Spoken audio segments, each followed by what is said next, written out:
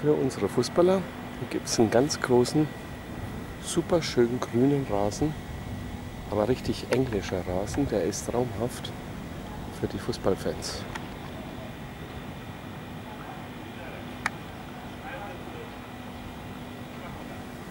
Und hier sitzen dann die Coaches drin.